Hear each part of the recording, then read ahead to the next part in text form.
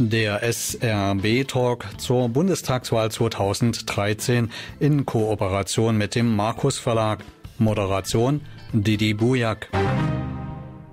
Die Zeichen stehen auf Wahlkampf. Wer das nicht durch die Stadt fahren sieht, dass überall Plakate hängt, der hat die Zeit verpennt. Und wer nicht wählen geht, der hat natürlich auch die Zeit verpennt. Und wer noch immer nicht weiß, wen er wählen soll in rund drei Wochen zur Bundestagswahl, den möchten wir jetzt ganz herzlich da draußen im Internet oder auf 101,4 im UKW begrüßen. Denn wir haben einfach mal Leute eingeladen, von denen wir rein mengenmäßig denken, dass sie die besten Chancen haben, in den Bundestag einzuziehen. Ich möchte Ihnen gleich den Zahn ziehen, dass man eine Bundeskanzlerin oder einen Bundeskanzler direkt wählt. Nee, nee, Sie müssen erst mal hier aus Ihrem Wahlkreis jemanden im Direktmandat eine Stimme geben. Sie haben dann die Möglichkeit, in einer Zweitstimme eine favorisierte Partei oder Gruppe zu wählen. Und dann gibt's noch Überhangsmandate und Ausgleichsmandate. Aber damit nerv ich Sie heute nicht. Ich freue mich, dass Frau Stauche, Herr Majewski, Herr Korschewski und Herr Borchert unserer Einladung gefolgt sind. Und ich sage ganz, ganz herzlichen Dank an den Markus Verlag, der uns ein brillanter Gastgeber ist. Die Technik hat Jörg Sorge. Ich heiße Didi Bujak. Und ich sage es einfach mal, Frau Stauche, Carola Stauche, Sie treten ja wieder an. Sie sind nicht nur die einzige Dame, sondern auch jemand, der hier was zu verteidigen hat. Vielleicht sagen Sie einfach mal, wer oder was Sie als Person sind. Ja, mein Name. Mein Name ist Carola Staucher, bin geboren in Ansgereuth. Jetzt gehörig, gehört es zu Saalfeld 1952. Bin in einer kleinen landwirtschaftlichen Betrieb aufgewachsen. Habe dort auf der Saalfelder Höhe meine mittlere Reife gemacht und bin dann nach Schwarza ins CFK. Habe dort Chemiefaserfacharbeiter gelernt mit Abitur bin dann nach dieser Ausbildung, nach einem Jahr Laborantentätigkeit nach Rohrbach gezogen und bin dort in die Gastronomie gegangen. Dort habe ich 20 Jahre gearbeitet, habe mich nochmal neu qualifiziert vom Facharbeiter und dann auch zum Gaststättenleiter. Und 1990 dann war diese dieser Abschnitt meines Lebens vorbei und bin dann eigentlich über die friedliche Revolution zur Politik gekommen bin im Gemeinderat Bürgermeister und dann Verwaltungsgemeinschaftsvorsitzende geworden, habe mich in der CDU sehr engagiert, habe im Gemeinderat gearbeitet, im Kreistag und so ging es dann weiter. Seit 1995 wurde ich, ich dann Verwaltungsleiter der Verwaltungsgemeinschaft Mittleres Schwarzertal im Schwarzertal und das bis 2004. 2004 bin ich dann über die Liste in den Landtag eingezogen und war bis 2009 Mitglied des Thüringer Landtages.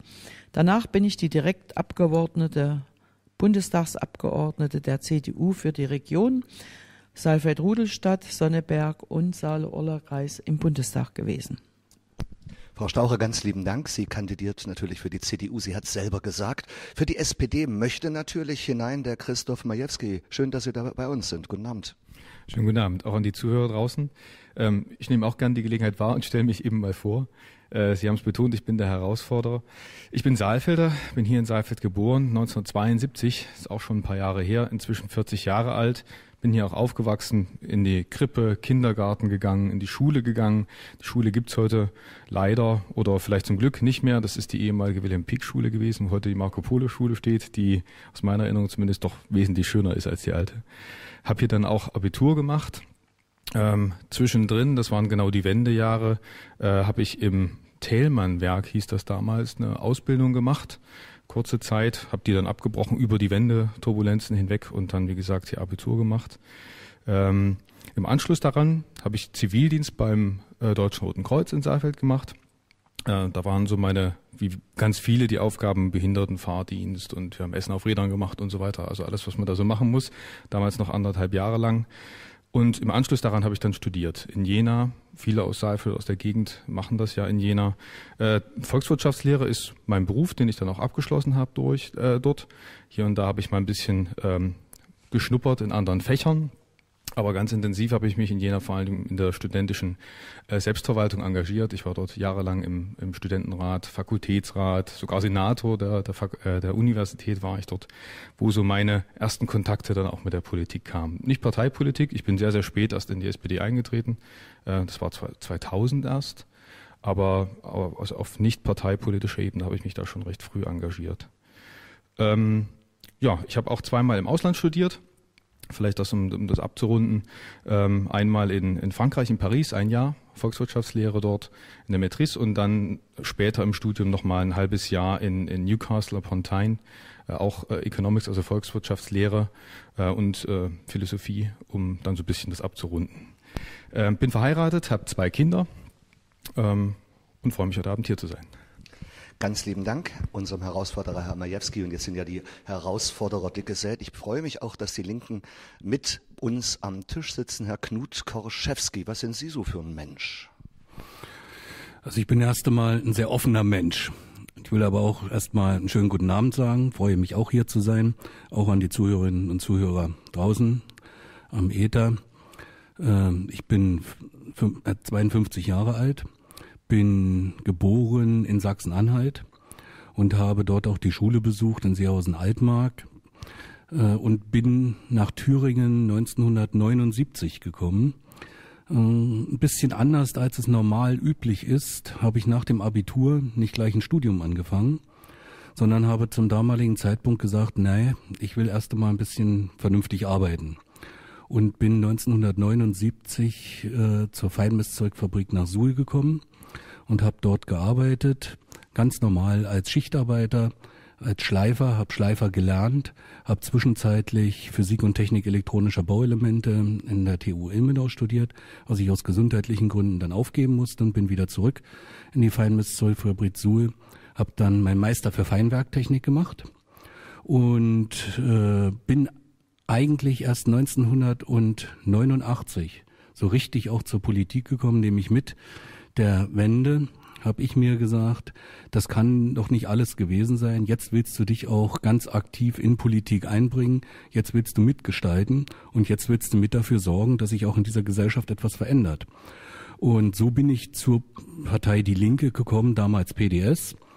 Äh, war, bin seit 1991 Landesgeschäftsführer der PDS gewesen bis 2006 äh, bin seit 2006 Landesvorsitzender der Linken jetzt und seit 2009 auch Mitglied des Thüringer Landtages, äh, Sprecher für Sport und Tourismus. Ja, ich denke, äh, dass auch ein gesellschaftliches Engagement sehr wichtig ist. Deshalb bin ich auch Mitglied im Kuratorium der Thüringer Sporthilfe und Präsident des Thüringer Gebirgs- und Wandervereins. Danke. Schön, dass wir Herrn Koschewski mit dabei haben. Und den vierten in der Runde nun auch noch vorzustellen. Eigentlich heißt er ja Alf Heinz Borchert, aber seine Weggefährten sagen Alf Borchert und er möchte für die Freien Demokraten einziehen. Guten Abend, Herr Borchert. Guten Abend. Guten Abend auch, liebe Hörer. Ja, Alf Borchert ist mein Name. Ich stamme aus Niedersachsen, bin 1953 in Oldenburg geboren habe dann 1974 Abitur gemacht in Farel, einem kleinen Städtchen am Jadebusen und dann zog's mich in die Ferne. Ich habe zunächst evangelische Theologie an der Universität in Tübingen studiert, aber mit dem Fach bin ich dann doch nicht so richtig äh, glücklich geworden und habe dann ohne Examen dort zu machen gewechselt auf die Rechtswissenschaften, zwischendurch noch meinen Zivildienst geleistet, auch beim Roten Kreuz als Rettungssanitäter unter anderem am Hochrhein und bin seit 1988 als Anwalt tätig, zunächst in Schwäbisch Gmünd als angestellter Anwalt und bin dann im Frühjahr 1991 nach Pösneck gegangen und habe mich dort selbstständig gemacht, habe meine Kanzlei dort, mittlerweile sind wir mit drei Anwälten dort tätig und beackern im Wesentlichen das Zivilrecht, also Strafrecht ist nicht so direkt unser Metier. Zur Politik gekommen bin ich schon sehr, sehr bald. 1982 äh, bin ich äh, eingetreten. Zunächst, das ist kein Geheimnis, in die CDU, aber da hat es mir dann irgendwann nicht mehr gefallen. Und dann bin ich in die FDP eingetreten. Ich bin seit äh, 2004 Mitglied im Stadtrat von Pösneck, mittlerweile stellvertretender Stadtratsvorsitzender und Mitglied im Kreistag, daneben noch Mitglied im Haupt- und Finanzausschuss der Stadt Pösneck und im äh, Bau- und Vergabeausschuss des Kreistages und im Ausschuss für Gesundheit, Soziales und Familie im Kreistag. Lieben Dank, Herr Borchert. Ja, wir merken schon, unsere Gesprächspartnerinnen und unsere drei Gesprächspartner haben alle einen gescheiten Beruf. Das heißt also, wenn es jetzt nicht mit der politischen Karriere hinhaut, die können ihr Brot so auch verdienen. Frau Staucher, wenn man das so hört, so Landwirtschaft und Gastronomie, geerdete, ordentliche Berufe, um jetzt nicht zu behaupten, dass Politik kein ordentlicher Beruf wäre. Was ist denn nun Ihre Kernkompetenz, die Sie da mitgebracht haben, wenn man aus dem ländlichen Raum so ratzfatz über paar Jahre Verwaltungsgemeinschaft plötzlich in Berlin sitzt? Ja, also ich denke, meine Kernkompetenz ist, dass ich sehr viel kommunale Erfahrung habe. Ich bin ja auch seit äh, 16 Jahren äh, war ich äh, Landes, äh, stellvertretende Landesvorsitzende der KBV, das ist die Kommunalpolitische Vereinigung der CDU, und bin 17 Jahre jetzt schon äh, stellvertretende Bundesvorsitzende der KBV, KBV in Berlin. Ich denke, die, ähm, der Umgang mit Gesetzen, den man von der Pike auf gelernt hat, besonders als VG-Vorsitzende. Dort hatte man ja viel mit Gesetzen zu tun und, und die Umsetzung der Gesetze. Ich denke, das ist eine ganz wichtige Erfahrung.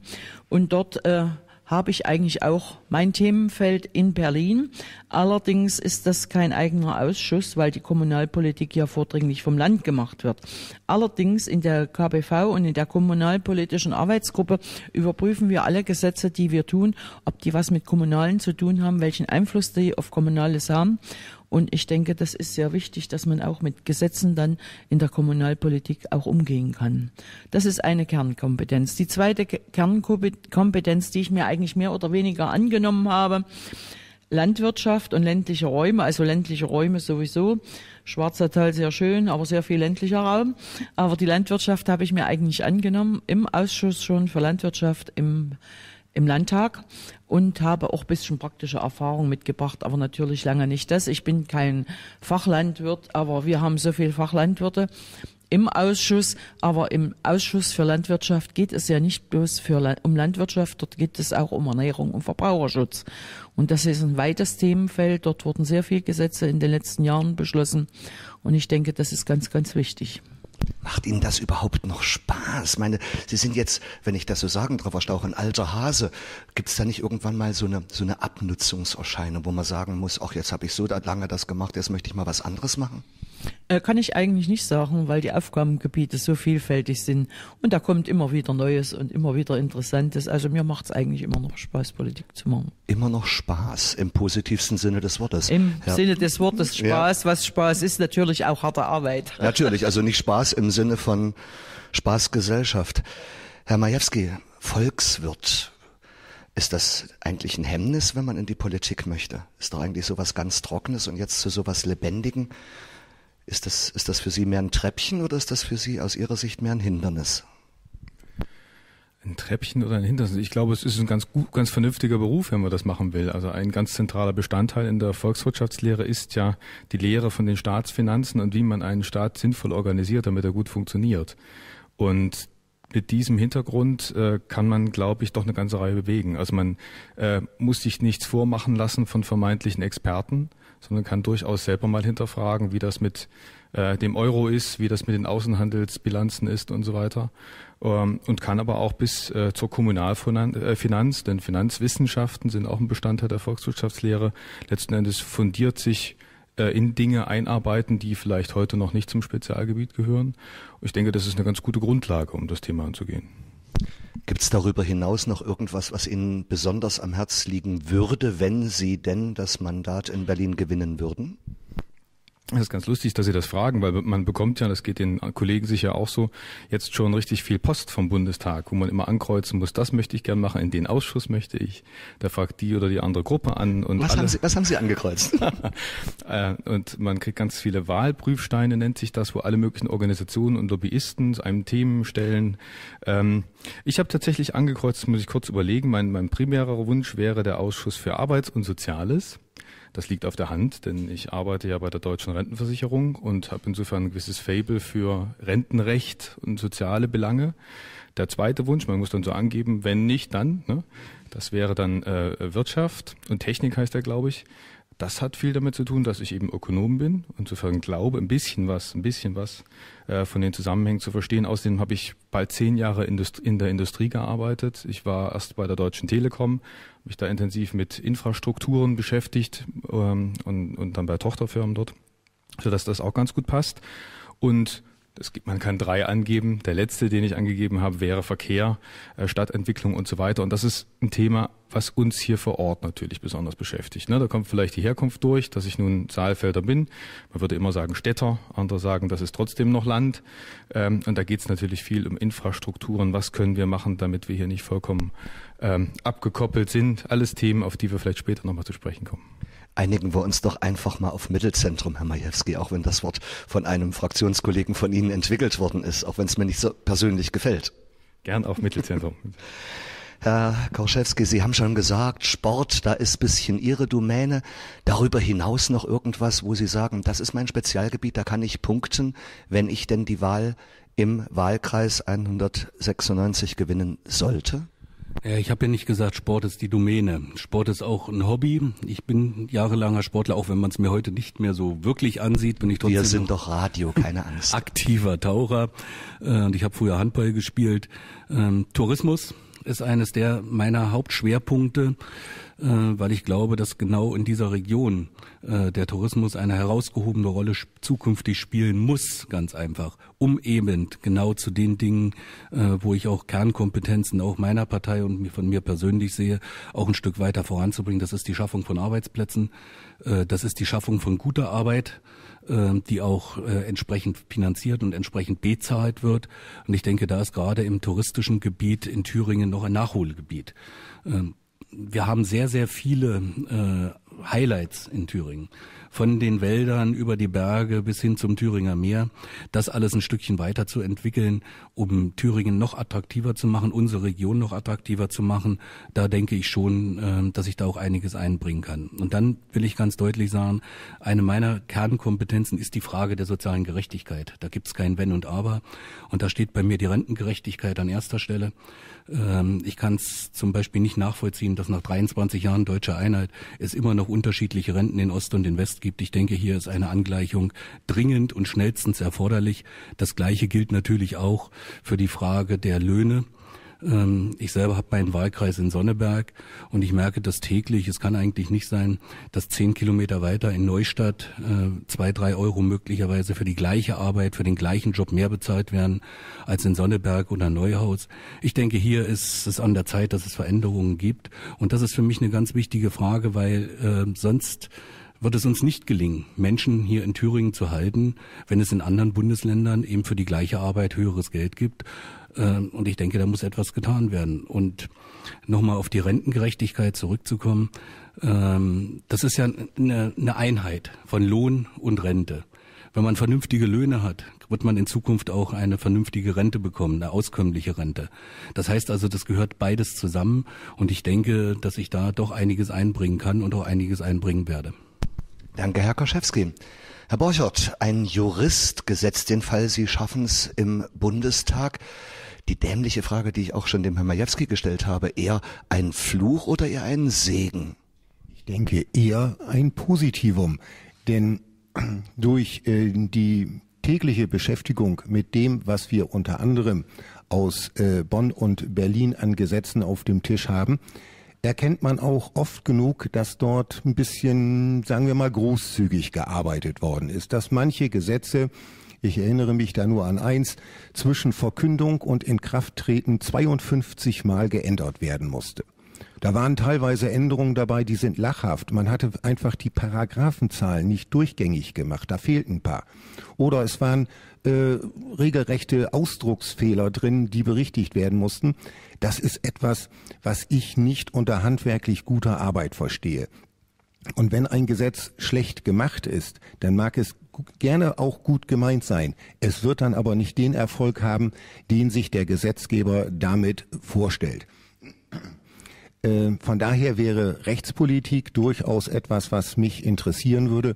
Wobei, und da sind wir uns, glaube ich, alle einig, letztlich entscheiden es nicht wir, äh, die Kandidaten, die dann gewählt werden, welchen Ausschuss äh, wir dann ähm, zugewiesen bekommen, sondern das wird dann durch die Fraktionen schon entschieden. Ähm, ein weiterer Punkt, um den ich mich gerne kümmern möchte, ist ähm, die Infrastruktur. Herr Koschewski sprach es an, Tourismus ist eine sanfte Industrie, eine Industrie, die hier durchaus Entwicklungspotenzial nach oben hat. Aber was nützt es, wenn wir Straßenverhältnisse haben, die teilweise grausam sind? Ähm, ich war jetzt gerade gestern unterwegs, habe Plakate gehängt. Ich habe da äh, in den kleineren Orten Ortsverbindungsstraßen benutzen dürfen. Die fallen anderswo unter schlechter Feldweg. Das sind äh, Sachen, die sicherlich nicht nur über den Bund zu regeln sind. Da sind auch die Kreise, die Kommunen und das äh, Land gefragt. Aber insgesamt das Problem der Infrastruktur, der Anschließung auch des Städtedreiecks an die Autobahnen äh, ist ja bisher mehr als beklagenswert. Das verhindert Investitionen, das gefährdet bereits getätigte Investitionen und ich denke, dort äh, sollte dringend etwas geschehen. Dort müssen dann auch die Mittel äh, freigesteuert werden, um da etwas äh, unternehmen zu können. Herr Borchert, ganz lieben Dank und auch ganz lieben Dank unseren anderen drei Eingeladenen. Jetzt wissen wir doch zumindest erstmal oberflächlich, wer sie sind, ein paar Takte Musik und dann geht's mal ans Eingemachte. Für den Wahlkreis treten an Frau Staucher, Herr Majewski, Herr Korschewski, Herr Borchert. Und ich sag's ja auch gleich, der Wahlkreis 196, der umfasst nicht nur unser Städtedreieck, da gehört Sonneberg genauso dazu wie der Saale-Orla-Kreis. Das Politmagazin Cicero hat getitelt, einer der 25 spannendsten Wahlkreise von insgesamt 299. Und deswegen hat natürlich Radio SRB auch jede Menge Fragen an die vier Kandidaten, die ich sag's bewusst nur auszu vorzugsweise in rund drei Wochen zur Wahl stehen. Aber Frau Carola Staurer möchte das Mandat natürlich verteidigen. Und wenn man da schon ein bisschen so mit dem Namen in der Öffentlichkeit über viele Jahre steht, dann steht man ja auch für die Politik, die die CDU auf Bundesebene macht. Ich weiß, dass viele Bürgerinnen und Bürger in der Region erhebliche Probleme in der Infrastruktur sehen. In Vorgesprächen zu dieser Diskussionsrunde wurde der ICE mal in das Boot geworfen, die Straße Straßen, nicht nur die Autobahnzubringer oder die Dorfstraßen, das Verhältnis von Alten und Jungen. Hier fühlen sich viele von der Bundespolitik benachteiligt. Sehen Sie das denn eigentlich auch so? Verstehen Sie da den einfachen Mann oder die einfache Frau? Und wenn ja, was wollen Sie denn nun, wenn Sie denn es wieder schaffen sollten, in der nächsten Legislatur dagegen tun? Ja, äh, Straßenbau ist natürlich eine langwierige Geschichte. Straßenbau ist nicht in vier Jahren begonnen und abgeschlossen oder geplant. Das sind eben Sachen, die dauern etwas länger. Genauso ist es mit der Bahn.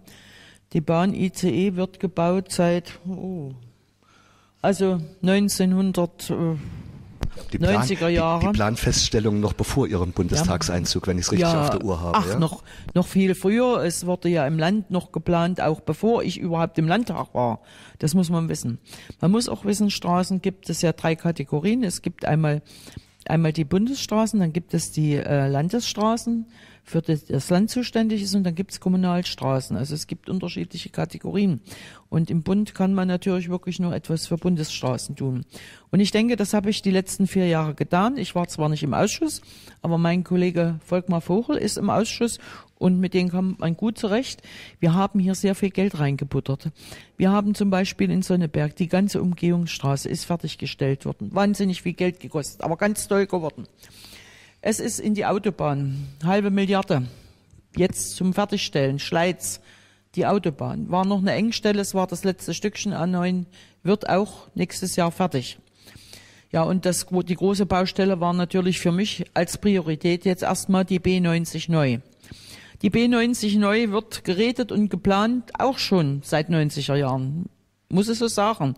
Wir hatten hier vorher SPD-Abgeordnete. Wir hatten einen SPD-Bauminister, äh, Bauminister in Berlin gehabt. Äh, ich konnte jetzt erst ansetzen und konnte anfangen. Ich denke, was ich hier erreicht habe, ist schon ganz gut. Denn die, das Geld ist ist eng in Berlin, das wissen wir alle. Und es gibt nicht nur hier schlechte Straßen. Ich kann Ihnen sagen, dass jeder Abgeordnete eigentlich eine B90 neu hat, für die er kämpft. Und das ist sehr schwierig. Auch gegen die eigenen Kollegen in Thüringen. Die haben alle ihre Probleme. Aber ich denke, wir haben ja ganz gut was geschafft, dass wir zumindest begonnen haben. Denn was begonnen hat, wird auch fertig gebaut. Natürlich haben wir in Infrastruktur, gerade in der Straße, noch größere Probleme. Wir haben die 281, wir haben die B88. Alles muss noch in die Reihe gebracht werden. Ich werde dort arbeiten.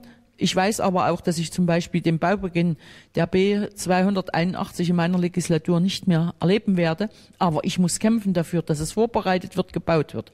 ICE ist richtig auch schon lange geplant. Er fährt jetzt über Erfurt 2017, das wissen wir. Was wir erreichen müssen, ist eine vernünftige Anbindung an den ICE, egal in Erfurt oder Leipzig. Die Strecke Jena-Leipzig ist ganz wichtig.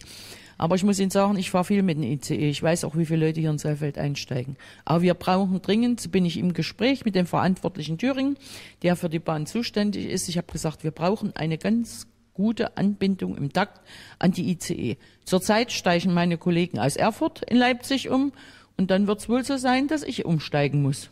Es, so einfach ist das. Aber es geht ja nicht bloß um diese Infrastruktur. Es gibt noch weitere Infrastruktur. Es gibt nämlich die Infrastruktur für ein schnelles Internet. Und hier haben wir schon sehr viel geschaffen, aber hier müssen wir noch ein bisschen weit. Entschuldigung. Aber 5 Megabit reichen nicht. Wir brauchen eigentlich schnelle Internetleitung, besonders für den ländlichen Raum. Schon mal einmal die Telemedizin.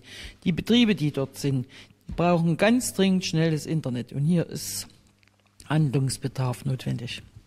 Frau Stauche kämpft mit einem Hustenanfall. Das ist eben so, wenn der Wahlkampf den Stress so einfordert, sie muss ein Schlückchen nehmen, solange. Gebe ich doch einfach mal das Wort an den Herrn Majewski. Äh, Unzufriedenheit über das, was die Region nicht nur im Wahlkreis, sondern auch ganz speziell hier im Städtedreieck angeht zwischen Saalfeld, Rudelstadt und Bad Blankenburg. Herr Majewski, kann man das als Sozi nachvollziehen oder eher nicht? Das kann man als Sozi sehr gut nachvollziehen, dass es hier Unzufriedenheit gibt. Frau Staucher hat, hat die, die SPD ja auch direkt angesprochen. Jetzt bin ich natürlich versucht zu sagen, wir werden alles daran setzen, dass sie in Leipzig künftig nicht mehr umsteigen muss, äh, weil wir dann äh, nach Berlin fahren. Aber um auf Ihre Frage zu antworten. Für mich ist der ICE und die, die Aberkennung des oder die, der, das, das Schließen des ICE halt, so wie es jetzt im Bahnkonzept vorgestellt wird, ein sehr, sehr großes Ärgernis. Ein Ärgernis in vielerlei Hinsicht. Mir ist sehr wohl bewusst, und das glaube ich, dass wir daran nichts mehr ändern können, dass die Entwicklung sehr weit fortgeschritten ist. Hier gab es Versäumnisse aus meiner Sicht und politische Entscheidungen in den 90er Jahren, als die handelnden Personen übrigens nicht der Sozialdemokratischen Partei angehört haben, als alles daran gesetzt wurde, ein aus meiner Sicht leidlich überflüssige Zugverbindung zu bauen, die letzten Endes einen Denkmalcharakter hatte. Ne? Man sagt im Volksmund ja auch manchmal die Bernhard Vogel Gedächtnisstrecke, die dann über, über Erfurt äh, gebaut werden sollte, wo Milliarden verschwendet wurden, die seit Jahren auch stillsteht, die Baustelle, oder stand zumindest, bis nun die, sie jetzt wieder neu in Angriff genommen wurde. Ich halte ich, ich finde es sehr schade. Ich finde es sehr schade. Ich bin aber Realist und, und äh, Pragmatiker und sage, wir sind jetzt diesen weiten Weg gegangen. Wir werden es nicht verhindern können, dass Saalfeld hier ein, einen Rückschritt erleben wird in der Bahnanbindung. Wir müssen aber jetzt alles daran setzen, gemeinsam, idealerweise auch mit der Bevölkerung, die Anbindung so gut zu gestalten, wie sie irgendwie geht. Es liegen ja verschiedene Konzepte vor, an der Stelle auch von verschiedenen Parteien. Ich bin da gern bereit, nach allen Kräften zu unterstützen, ein Konzept wäre zum Beispiel die Zuganbindung, die jetzt in dem Konzept noch vorgesehen sind, eben nach Saalfeld zu verlängern. Es gibt andere Möglichkeiten, äh, eine Taktung bis nach Leipzig oder Nürnberg einzurichten. Ich glaube, hier lohnt es sich, gemeinsam zu kämpfen. Ja, und spätestens seit Stuttgart 21 wissen wir, dass sich auch der Kampf mit der Bahn lohnen kann unter Umständen. Die Autobahnanbindung ist angesprochen worden. Das ist das gleiche Thema. Das ist das gleiche Thema. Hier sind die Versäumnisse in den 90er Jahren begangen worden. Ich weiß, dass man sehr, sehr viel auf eine Reihe zu bringen hatte in der Zeit, dass im ganzen Osten extrem viel gebaut wurde. Aber nur ein kleines Beispiel. Ich habe in Jena studiert. Ich weiß nicht, wie viele, wie viele Tage, Wochen, Monate ich in Staus oder, oder an Ampeln auf dieser Strecke verbracht habe. Ja, also das ist ein Thema, diese Anbindung in ein Ballungszentrum aus unserer Sicht. Wir in Saalfeld, ich rede jetzt mal für die Saalfelder und die nähere Umgebung, haben traditionell sehr starke Anbindung und Bindung nach Jena gehabt, Zeiss und so weiter. Dort ist die Universität. Dort sind sehr, sehr viele inzwischen auch sehr gut bezahlte Jobs. Und dass diese Anbindung immer noch nicht richtig funktioniert, wenn man sie jetzt gerade fahren will, ist es im Übrigen eine Katastrophe. Also wir sind ja hier auch sehr viel unterwegs. Ich war in Kirchhasel neulich, in Etzelbach und so weiter und haben dort äh, Tür-zu-Türen-Aktionen gemacht und mit den Leuten gesprochen. Es ist fast kein Durchkommen mehr. Und das gilt für viele, viele Punkte. Ich freue mich, dass die Anbindung nach Erfurt nun endlich, nun endlich angefangen wird. Finanziert ist sie ja noch nicht ganz. Wollen wir die Daumen drücken, dass das so bleibt, also dass sie die Gelder dann auch fließen, wenn der Wahlkampf vorbei ist und wenn die die die Wahlen stattgefunden haben. Aber wir müssen hier mehr tun. Wir müssen hier mehr tun. Ich hatte neulich Termine im Schwarzertal, äh, wo Knall auf Fall äh, Straßen gesperrt wurden und auf einmal kein Durchkommen mehr war. Es wurde nicht gewarnt davor und so weiter. So können wir uns unseren Tourismus auch kaputt machen. Denn wenn einmal ein, ein Urlauber an so, einer, an so einer Vollsperrung stand mitten im Schwarzertal und nicht mehr weiß, was los ist, der wird sich überlegen, ob er nochmal zu uns kommt. Frau Staufer hat Breitband angesprochen. Das ist ein Thema, was mir besonders am Herzen liegt. Können Sie sich vielleicht vorstellen, weil ich bei der Telekom jahrelang gearbeitet habe. Das ist alles nicht ohne, aber ich denke auch, da muss, muss der Staat äh, auch, auch noch ein Stück weit äh, in die Verantwortung genommen werden und hier auch äh, noch, noch zulegen, dass die Investitionen für die Unternehmen hier auch machbar sind. Ähm, da kann auch noch mehr passieren als heute. Wir haben dort die Situation, dass durch den unterschiedlichen Techniken und den technischen Fortschritt sich Infrastrukturen leider Gottes auch schnell entwerten. Ich möchte nur an den Ausbau äh, von Glasfaserkabel in den 90er Jahren äh, erinnern. Das war das große Projekt von Helmut Kohl, wo Milliarden dann Dafür konnte in dem Zweifel in, in diesem konkreten Fall nichts äh, versenkt wurden, weil einfach äh, ein Amerikaner die DSL-Technologie entdeckt hat und auf einmal diese ganze Infrastruktur wertlos wurde. Also muss mit Augenmaß und Sachverstand hier investiert werden. Es gibt inzwischen verschiedene Möglichkeiten durch Funkanbindung und so weiter etwas zu tun. Und wir müssen hier dringend etwas tun. Denn wir haben die Situation, wir haben Ballungszentrum, wir haben die berühmte Perlenkette entlang der Autobahn und wir haben hier Leute und eine sehr schöne Landschaft und wir haben hier unsere Kultur. Und es lohnt sich hier zu leben, aber wir müssen gucken, dass wir die Anbindung an diese Zentren schaffen. Entweder via Internet oder eben via Bahn oder Straße. Wir danken Herrn Majewski. Herr Korschewski, waren Ihnen die Liste der infrastrukturellen Versäumnisse als Linker zu kurz oder möchten Sie noch was ranhängen? Also ich will erst nochmal sagen, dass hier tatsächlich äh, viele Versäumnisse es gegeben hat. Und ich denke, es hätte auch in den letzten vier Jahren mehr passieren können ähm, wo bekanntermaßen ja die CDU in der Regierung war und hätte dort auch etwas verändern können. Äh, die Frage der Einbindung in den Bundesverkehrswegeplan steht jetzt wieder an äh, sowohl was die Bahnanbindung anbetrifft als auch Verkehrsanbindung. Ähm, und ich sage hier bei der Verkehrsanbindung, äh, bei der Bahnanbindung einfach nur mal ähm, die Frage des ICE-Haltes in Saalfeld ist für mich noch nicht abgegessen, Herr Majewski. Also ich denke, dass da schon noch etwas machbar ist, wenn man sich da auch einbringt. Äh, warum muss der ICE in Jena schlafen, so wie äh, letztens vorgestellt? Ich denke. Also Klartext, wenn Sie jetzt richtig Gas geben, denken Sie, dass das wieder zurückgenommen wird? Ich denke, dass man da noch etwas verändern kann. Ja, natürlich. Aber da muss man sich eben auch wirklich extrem dafür einbringen. Ähm, die ehemalige Staatssekretärin in der Thüringer Landesregierung, Frau Eichborn, hat vor ähm, zwei Jahren deutlich gesagt, dass äh, sie die Thüringer Landesregierung bekennendermaßen CDU-Landesregierung äh, sich dort einbringen will und dass da, da etwas verändert werden soll. Nichts ist passiert. Und da sage ich ganz deutlich, hier müssen Veränderungen herbeigeführt werden, auch mit politischen Veränderungen äh, in Personen. Und ich will eins noch dazu sagen, natürlich fehlt mir noch ein bisschen was. Das ist mir ein bisschen einfach. Äh, mir fehlt an dieser Stelle die ganze Frage des öffentlichen Personennahverkehrs. Busanbindungen äh, bis in das kleinste Dorf hinein. Warum werden, werden teilweise Dörfer mittlerweile abgeschnitten von der, äh, von der Landkarte? Ich glaube, äh, das ist nicht notwendig. Das hält auch die Bürgerinnen und Bürger nicht hier äh, in unseren Landkreisen. Ich sage bewusst mal in den drei Landkreisen, Sonneberg, Saarfeld, Ruderstadt und Saale-Orla-Kreis. Und ich will auch noch einen ganz konkreten Punkt nennen. Das ist für mich die Höllentalbahn in Blankenstein, die Verbindung nach äh, Bayern. Hier könnten Tausende von LKWs gespart werden, die Holz zur ZPA nach Blankenstein bringen. Mittlerweile nicht nur von Hof, sondern auch von Plauen. Tausende LKWs rollen dort über die Straßen äh, mit ähm, Abgasen, die unendlich sind. Und es wäre möglich, wenn diese Strecke, diese Höllentalbahnstrecke wieder aufgelegt wird, dass die, die Holzschnitzel direkt bis ins Werk gefahren werden könnten. Aber auch hier ist es so, dass es keinen Staatsvertrag derzeitig zwischen Thüringen und Bayern gibt, dass auch hier die Bundesregierung nichts tut, um dass sich äh, das hier eingebracht wird. Und ich denke, da bestehen große Möglichkeiten. Es gibt vor allen Dingen ein starkes Interesse daran, eben nicht nur aus touristischer Sicht heraus, sondern auch aus wirtschaftspolitischer Sicht. Damit können Arbeitsplätze geschaffen werden, damit können Menschen zur Arbeit fahren, damit sind, äh, werden Regionen direkt angebunden. Im Moment kommt es mir immer noch so vor, auch wenn die Anbindung jetzt äh, über die B90 oder B88 angesprochen wurde. Trotzdem sind, leben wir derzeitig hier in diesem Städtedreieck, um den es dieses Jahr auch geht. Wir leben in einer abgehangenen Welt. Und mit dem ICE halt, der wegkommen soll, wird diese Welt noch weiter abgehangen. Da kommt eben kein Tourist dann mehr oder weniger Touristen. Damit wird die Wirtschaft nicht gestärkt. Die Wirtschaft wird nur gestärkt, wenn mehr Menschen in die Region kommen, sowohl hier wohnen, leben und arbeiten, aber eben auch die touristischen Potenziale nutzen. Und hier gibt es einen riesengroßen Nachholbedarf und dafür müssen wir etwas tun. Dann ganz lieben Dank an Herrn Korschewski. Und jetzt fragen wir mal unseren Liberalen als Vierten in dieser Gesprächsrunde. Verstehen Sie diese Unzufriedenheit? Als Anwalt hört man sich doch viel die Geschichten des, kleines Mann, des kleinen Mannes an. Verstehen Sie dieses, dieses bisschen na, am Hintern der Welt zu leben? Naja, ganz so streng würde ich es dann doch nicht ausdrücken wollen.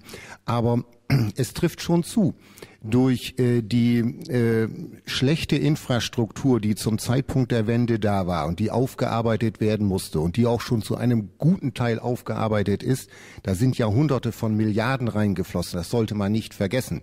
Was diese Volkswirtschaft in Deutschland geschaffen hat, das war schon aller Ehren wert. Es ist aber noch nicht alles geschafft worden. Und wir haben in Deutschland ein Problem. Von der Idee, eine Straße zu bauen, bis zum ersten Spatenstich vergehen in Deutschland 15, 20 Jahre. Wir hatten unmittelbar nach der Wende die Investitionsbeschleunigungsgesetze. Die sollte man durchaus mal sich wieder angucken, ob man sie nicht heute wieder reaktivieren kann. Vielleicht nicht eins zu eins, aber das eine oder andere Gute war darin. Äh, und dann will ich gleich äh, auf einen, einen weiteren Punkt zu sprechen kommen. Nicht nur die Höllentalbahn ist ein Ärgernis, dass sie nämlich zu ist, sondern es ist für mich insgesamt ein Ärgernis, dass die Bundesbahn seit über 20 Jahren planmäßig den Güterverkehr auf der Schiene reduziert. Ich weiß nicht, wer sich daran noch erinnert, als der Herr Medorn seinerzeit Chef von der Bahn wurde. Seine erste Pressekonferenz. Sein Ziel war es, innerhalb von fünf Jahren den Güterverkehr um 30 Prozent zu reduzieren. Ich habe mich gefragt, wo da der Aufschrei war von bestimmten politischen Gruppen. Das haben alle schweigend hingenommen und gedacht, na wird schon. Nur der Güterverkehr wird ja nicht weniger. Das, was die Bahn nicht befördert, wird mit LKWs befördert.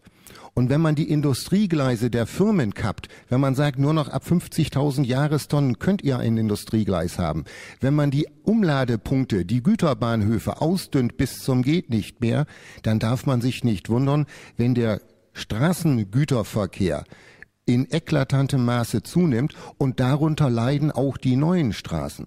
Ein LKW fährt eine Straße 10.000 Mal mehr kaputt wie ein PKW.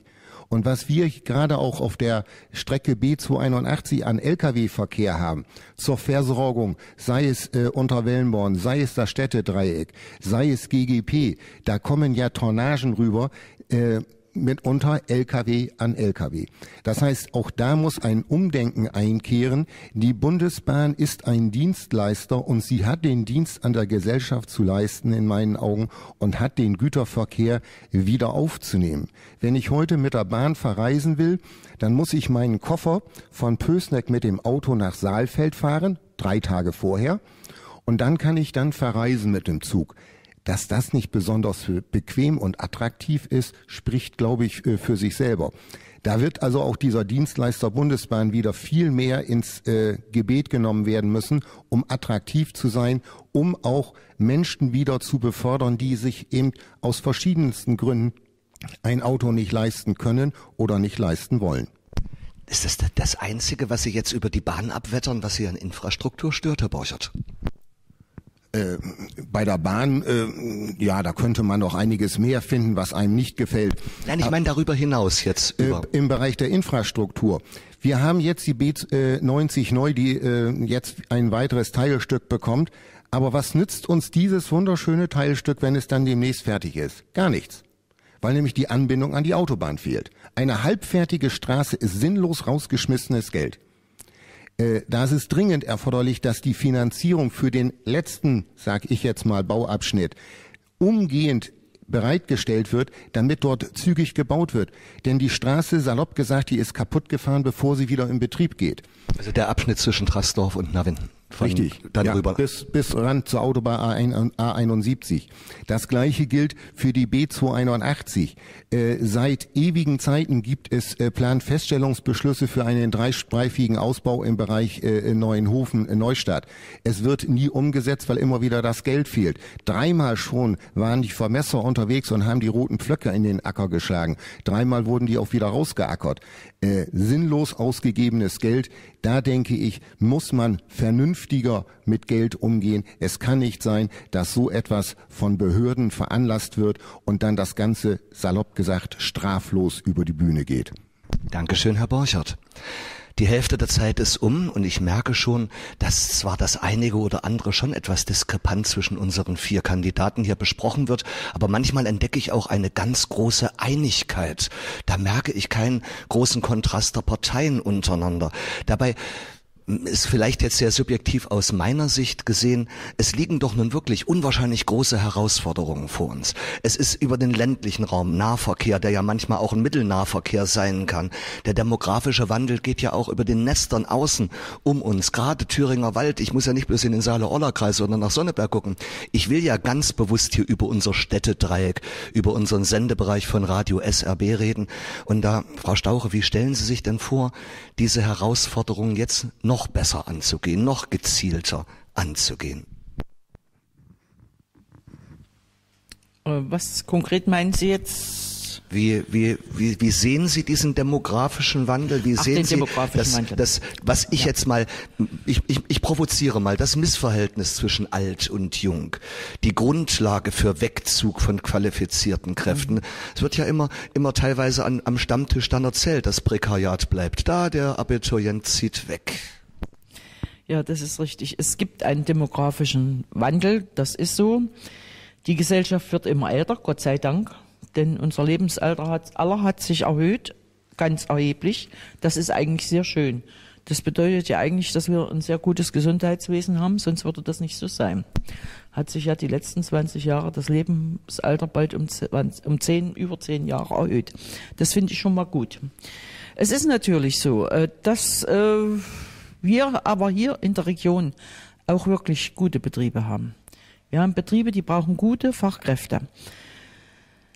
Es hat sich so herausgestellt, dass die, die immer ausgebildet haben, gute Fachkräfte ausgebildet haben und eingestellt haben, dass die auch nicht die Probleme haben. Die Probleme haben jetzt die Betriebe, die bis jetzt nicht ausgebildet haben, nicht gut ausgebildet haben, nicht gut bezahlt haben. Dort wird es Probleme geben. Das ist richtig. Aber ich denke, wir sind sehr gut. Ich war ja nur auch den ganzen Sommer unterwegs ich war viel in Betrieben unterwegs, war in ländlichen Räumen unterwegs, war bei der Bevölkerung unterwegs. Wir haben gut aufgestellte Betriebe und wir haben einen riesengroßen Fachkräftebedarf. Den haben wir, den werden wir, der wird auch noch größer werden. Und wir brauchen etwas, um die Jugend auch in der Region zu halten. Was sich als besonders gravierend hier in Saalfeld-Rudelstadt herausgestellt hat, was ich dann feststellte, dass sich das auch auf die anderen kleinen und mittleren Städte auswirkt. Wir haben wirklich Bedarf an guten Wohnraum. Man glaubt es nicht besonders für junge Leute mit Kindern. Attraktiven Wohnraum, Attraktiven also nicht, Wohnraum. nicht die Hornsie mit Klo auf der halben Treppe. Nein, nicht die Hornsie, auch nicht die Plattenbaute. Die, die Plattenbauten wollen die jungen Leute auch nicht. Die jungen Leute, die Familien haben, wollen ordentliche Wohnungen. Die brauchen ein Arbeitszimmer, die brauchen ein Kinderzimmer. Und hier wird schon einiges jetzt getan in Saalfeld und in Rudelstadt. Äh, wir dürfen nicht nur, wir müssen natürlich drüber nachdenken über seniorengerechte Wohnungen, das ist alles richtig, aber wir müssen auch drüber nachdenken über Wohnungen für junge Familien. Ich denke, hier muss auch was getan werden. Wir haben in Berlin ein großes Papier ländliche Räume entwickelt und das ist auch alles gut und wir werden das die nächsten Jahre müssen wir das umsetzen in Sachen Förderung in allen. Und dort habe ich auch meine Meinung eingebracht. Ich sage, denkt nicht immer bloß an die Seniorenwohnung. Wir wollen nicht nur die Senioren in den ländlichen Räumen haben, wir brauchen auch die jungen Familien, die Kinder haben. Und dort müssen wir angenehme Bedingungen schaffen. Infrastruktur. Das ist nicht nur Straße und Bahn, das ist auch Wohnung, das ist vieles, was zum Leben gehört auch mal abends ausgehen können, gut ausgehen können oder mal eine Gaststätte besuchen. Ich sag bloß Kultur. Ich sag Kultur. Ne? Genau, hier sind wir richtig an der Kultur. Wir haben eigentlich viel Kultur zu bieten in Thüringen, aber es muss auch die Lebenskultur da sein. Nicht nur die alte Kultur, sondern auch die Lebenskultur. Und ich denke, hier müssen wir alle zusammenarbeiten. Kommunen, Land und auch der Bund. Nächstes provokantes Beispiel, Frau Staucher. Was nützt dem Bauern auf dem Kaff, wenn der Bus ab 17 Uhr nicht mehr fährt. Er kommt nicht zum Theater und er kommt nicht wieder heim. Oder der Teenie nicht zur Disco, es sei denn, er fährt besoffen. Also ich denke, hier ist äh, gerade unser äh, Personennahverkehr schon ganz gut aufgestellt. Es ist möglich, jederzeit eine Fahrt zu bestellen, zum Theater zum Beispiel, wenn ein Verein das macht. Das ist kein Thema. Aber äh, man kann aber auch nicht verlangen von den Nahverkehr, denn wir müssen das alle bezahlen in Zuschüssen, dass jeden Abend von jedem Dorf nach 17 Uhr ein Bus fährt und wenn sie reingucken, sitzt niemand drinnen, dann bezahlen es wir als Bürger mit unseren Steuergeldern. Auch diese äh, Verkehrsgesellschaft muss halbwegs rentabel und so arbeiten, dass sich es auch bezahlen lässt. Also ich denke, ich erlebe es ja nur. Ich selbst wohne auf dem Dorf weit ab von der Stadt. Ich habe es jeden Tag 20, 30 Kilometer bis in die Stadt und die Leute sind auch beweglich dort, auch untereinander. Also ich denke, das muss machbar sein und das wird auch machbar sein. Wichtig ist, dass das Leben angenehm ist. Ich lebe gerne im Dorf, ich genieße die soziale, der soziale Zusammenhalt im Dorf, der stärker vorhanden ist als in der Stadt, ganz logisch. Und ich genieße auch das Miteinander dort. Ich habe immer das, ich habe immer das Gefühl, dass man jetzt gerade, wenn so Bundestagswahlkampf beginnt, dass man dann viele Erwartungshaltungen auf den Bund, also auf unsere Bundesrepublik lenkt. Jetzt mal eine dämliche Frage. Wie viel Prozent kann man denn einem Bundestagsabgeordneten von den ganzen Problemen, die wir im letzten Dreiviertelstündchen besprochen haben, nun wirklich in die Tasche stecken, Frau Staucher? Naja, ich muss sagen, ich nehme mich schon vieler Probleme an. Auch nicht unbedingt äh, der, die, die mich eigentlich nichts angehen. Also wenn Bürger zu mir kommen oder eine Gruppe oder ein Verein oder und hat Probleme, bemühe ich mich schon, obwohl es nicht unbedingt meine Aufgabe ist, auch vor Ort zu vermitteln. Denn viele wissen auch nicht die Wege, die sie gehen können. Und dort nehme ich mich schon der Probleme und die Probleme sind viele. Ich habe heute wieder Probleme mit drei, sagen wir es mal so, von drei Bürgern, die in letzter Zeit auf mich zukamen, Hartz-IV-Empfängern, die Probleme hatten. Die haben wir auf kurzen Weg gelöst, weil ich den kurzen Draht habe und sie nicht so. Also zumindest versucht zu lösen. Solcher Probleme nehme ich mich auch an. Also es ist schon sehr viel, was auf einen Bundestagsabgeordneten zukommt. Und äh, ich, nehme mich, ich nehme mir eigentlich aller Probleme an. Aber alles kann ich nicht lösen. Das ist nun mal so. Sie wollen ja Abgeordnete werden und nicht Zauberin, ja? Ja, genau so ist es. Frau Staucher, lieben Dank. Ja, Demo, äh, die ganze demografische Umbau in der, in der Gesellschaft, das ist ja eigentlich eine Kernkompetenz von Ihnen, Herr Majewski. Sie, Sie kommen ja beruflich erstmal mit dem Verteilen von Geld für ältere Menschen. Denkt man da auch manchmal so an die jüngeren Menschen? Ja, natürlich, natürlich. Ähm, zum einen bin ich auch noch nicht so alt und die Zeit, in der ich äh, in, in Saalfeld noch um die Häuser gezogen bin, liegt auch nicht so weit zurück, wobei man sagen muss, das war eine andere Zeit. Ne? Als wir da ähm, 16, 17 waren, da gab es tatsächlich noch sehr viel mehr Menschen einfach in der Stadt und damit eben natürlich auch sehr viel mehr Dynamik und, und ähm, ja, eine andere Situation eben. Mir ist aber ein Punkt wichtig, wenn wir über demografischen Wandel reden wenn wir über das Thema Abwanderung stoppen reden, um das es ja letztendlich Abwanderung stoppen reden, um das es ja letzten Endes hinausläuft, müssen wir gucken, wo liegen die Ursachen. Ja, und äh, wenn wir jetzt über den Bus reden, über die richtige Busanbindung, dann ist das alles richtig. Und wenn wir über den ICE halt reden, der eventuell in Frage steht oder der in Frage steht, ganz offensichtlich in Frage steht, weil eben nur noch vergleichsweise wenig Menschen hier einsteigen aufgrund des Wandels und weil es eben nicht mehr so viele Menschen hier gibt, dann müssen wir immer fragen, wo liegen denn die Ursachen? Im Übrigen ähm, bin ich nicht dafür oder habe ich nicht gesagt, dass es, äh, äh dass ich den ICE halt nicht will, sondern ich glaube, dass man ihn in seiner jetzigen Form nicht erhalten kann ich habe explizit gemeint, Verlängerung der Züge nach Saalfeld, die in Und Jena dabei schaut Herr Majewski Herrn. Korschewski an, für alle, die immer noch nicht begriffen haben, dass wir kein Fernsehen sind.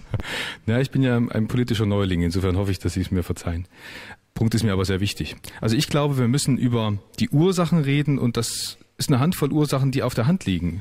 Wir haben seit, seit der Wende haben wir eine Politik in Thüringen verfolgt, die die, groß, die, die große äh, Geschichte von, von den Niedriglöhnen war. Das Wirtschaftsministerium, die Landesregierung hat damit geworben, kommen Sie nach Thüringen, investieren Sie hier, hier wird wenig verdient, hier können Sie Ihre Werkbank einrichten. Und das führt natürlich zu, einem, zu, einer, zu einer Situation, wo die tatsächliche Firmen kamen, gucken sich aber unsere Landkreise an, die zum Wahlkreis gehören, Sonneberg, eben bis rüber nach Schleiz.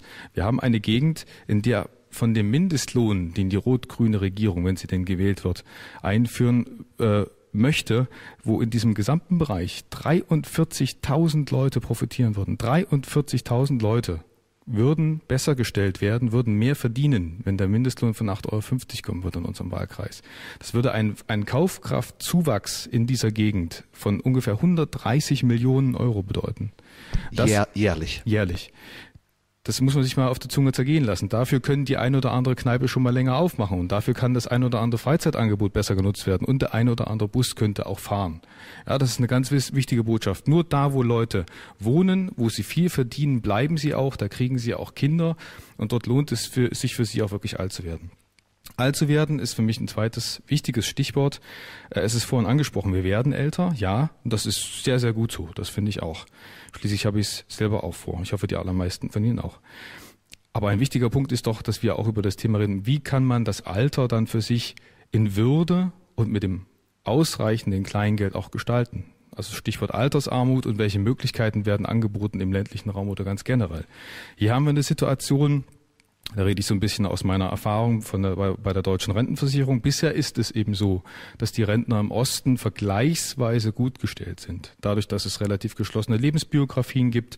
Es gab nicht sehr viel, also es gab keine Arbeitslosigkeit, zumindest in den Berechnungen, die die, die Rentenversicherung nutzt, sodass die Renten relativ, relativ hoch sind, weil eben eine geschlossene Erwerbsbiografie da war.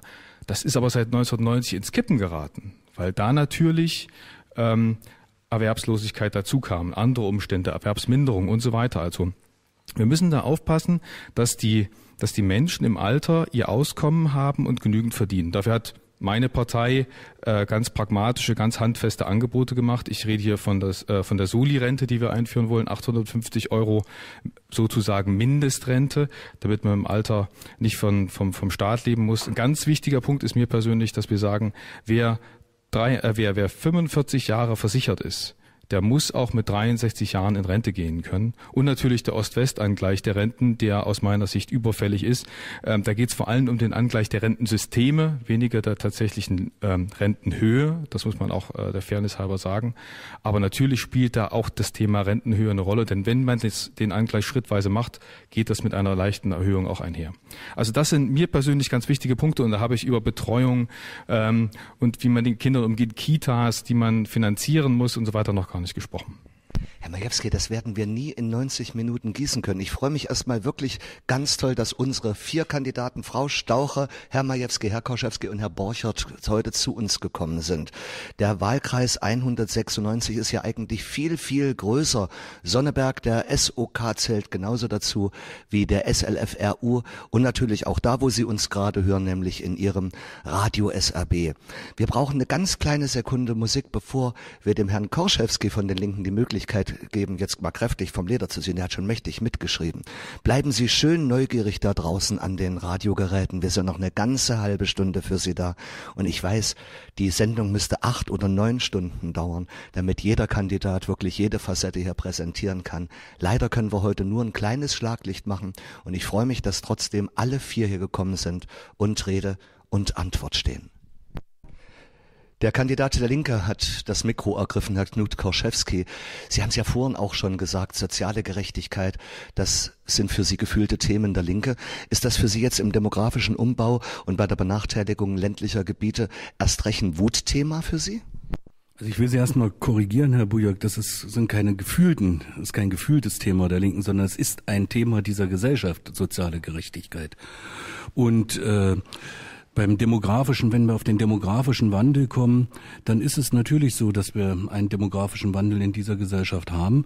Aber wir können natürlich auch etwas dazu beitragen, dass sich der demografische Wandel nicht zwischen Bundesländern abspielt, sondern dass er auch gestoppt wird und dass auch in einem Bundesland Bedingungen geschaffen werden, dass eben äh, eben keine, ich sage mal, älter, also keine Altersheime äh, als ländliche Räume entstehen, sondern dass wirklich junge Menschen sich auch in diesen ähm, in diesen Regionen wie auch in unserer Region ansiedeln. Ich kann es einfach nicht nachvollziehen, dass es auch zum heutigen Tag noch so ist, dass täglich 54 junge Menschen 54 täglich Thüringen verlassen. Also dagegen muss man ganz einfach etwas tun. Und dazu gehören mehrere Dinge. Dazu gehören die harten Standortfaktoren, die hier auch schon angesprochen wurden. Das ist die Frage äh, einer wirklich entsprechenden Bezahlung, eines entsprechenden Lohnes. Die Linke sagt hier ganz klar, äh, unter 10 Euro Mindestlohn äh, kann man einfach heutzutage nicht mehr leben. Die Gesellschaft hat sich weiterentwickelt. Ähm, damit wird die Kaufkraft gestärkt. Damit könnten, wie gesagt, regionale Wirtschaftskreisläufe angeschoben werden, etc. etc. Dazu gehören aber auch ähm, ähm, natürlich auch Wohnraum, wie von Frau Staucher angesprochen. Aber ich sehe das eben dahingehend auch ein bisschen anders. Ähm, auch Plattenwohnungen sind, können attraktiv gestaltet werden, wie man an vielen, vielen Bereichen sieht.